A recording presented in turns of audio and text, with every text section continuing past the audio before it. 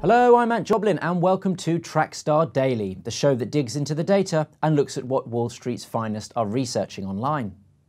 Today we're looking at a company that has experienced extreme scrutiny at the hands of Wall Street professionals in recent days. In fact, although just a handful of institutional investors have been researching the firm, they've accumulated close to 150 searches in a short period of time. That firm is the Renewable Energy Group, an American international producer of biomass based diesel, a developer of renewable chemicals, and North America's largest producer of advanced biodiesel.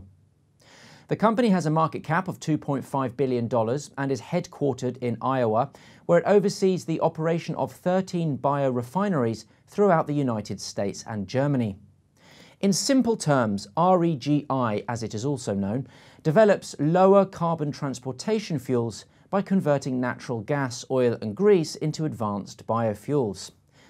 At the start of October, REGI announced the expansion of production capacity of its Louisiana biorefinery by 250 million gallons, thereby reaching a yearly production capacity of 340 million gallons.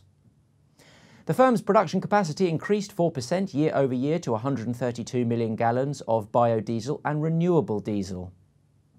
The company is due to report earnings on November 5th, and the consensus earnings per share estimate of $0.70 for the third quarter ended in September 2020 indicates a significant improvement over the year ago losses.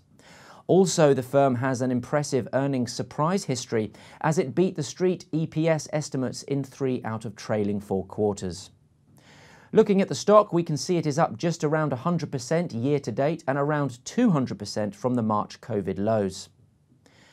REGI is also trading around 10% off its all time high that was made earlier this month and is outperforming 85% of the 20 other stocks in the industrial organic chemicals industry. Currently, six Wall Street analysts are covering REGI, and there are five strong buy recommendations and one buy, with an average target price of $68.33. That's all we have time for today, folks. To find out more about our Trackstar IQ data, sign up to our free newsletter at investingchannel.com/trackstar. As always, make sure you do your own due diligence before making any investment decisions.